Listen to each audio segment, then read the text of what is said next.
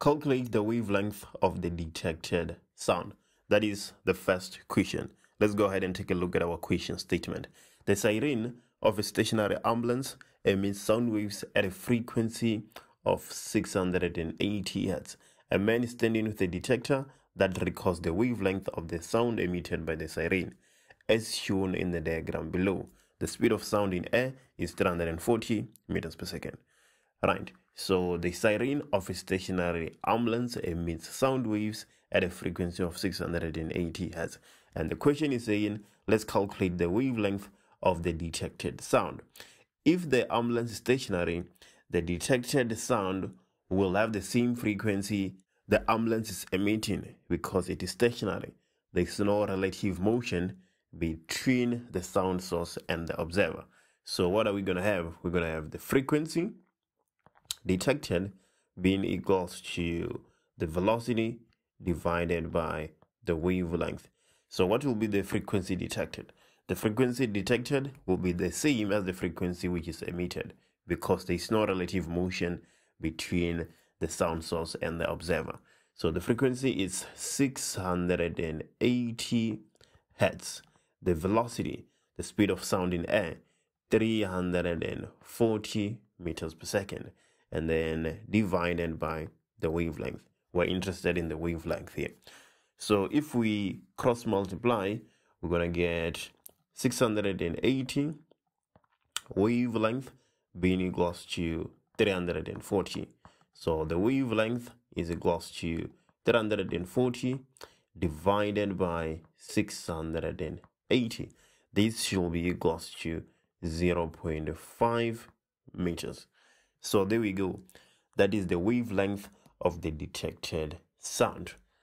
The frequency which is emitted by the stationary ambulance is the same frequency which is detected by the detector because the ambulance is stationary and the detector is also stationary.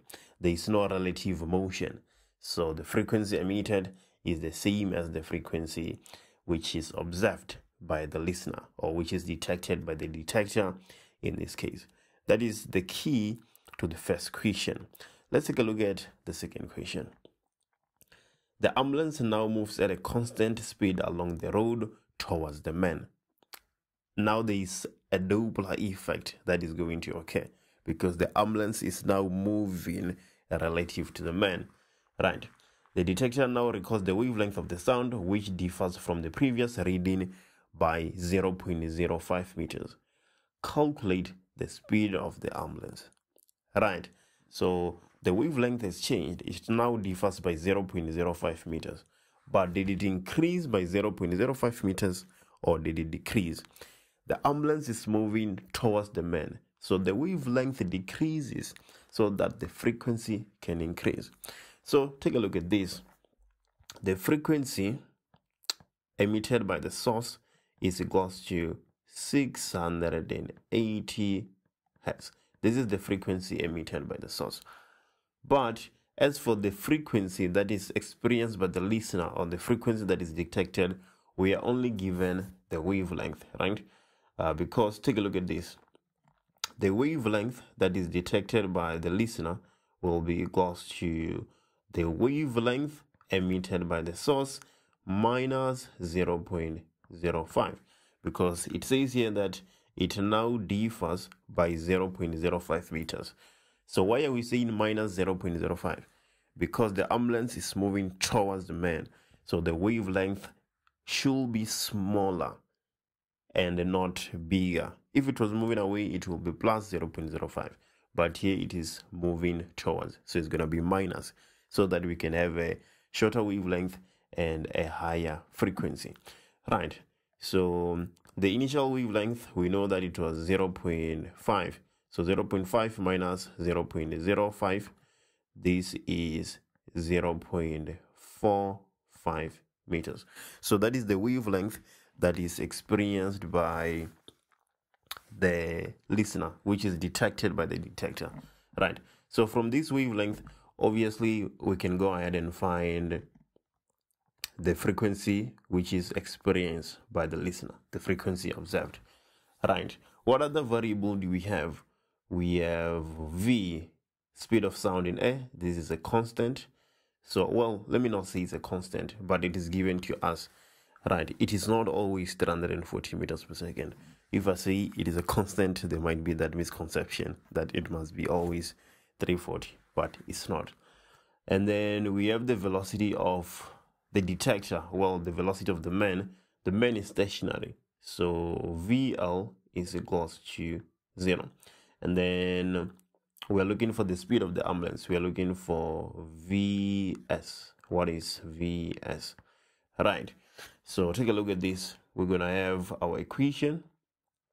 FL is equals to V plus or minus VL divided by V plus or minus VS multiplied by FS. So we have V, we have VL, we have FS, we are looking for VS but we still don't have FL. We still don't have FL. So let's just go ahead and calculate FL. So to in order to calculate FL, we're gonna say that FL is equals to so frequency is velocity divided by wavelength, right? We have the velocity which is 340 and then the wavelength which is 0.45. So we can go ahead and substitute that in place of FL. So in place of FL, we have 340 divided by the wavelength, which is 0.45. This is equals to the velocity, the speed of sound in air, not the velocity. We talk about speed in Doppler effect. So 340, the listener is stationary. So plus or minus zero is not going to change anything divided by 340 the ambulance is moving towards the man so we should have minus vs if it was moving away we would have plus vs multiplied by the frequency that is emitted this is 680 hertz. So at this point we are done with the physics. We just need to solve the math. But a lot of people still make a mistake even if they manage to get to this point. Okay let's just say 340 divided by 0 0.45 uh, that is 755.5555 uh, let me drag this up here. So we're gonna have 755.5556 being equals to 340 divided by 340 minus Vs multiplied by 680.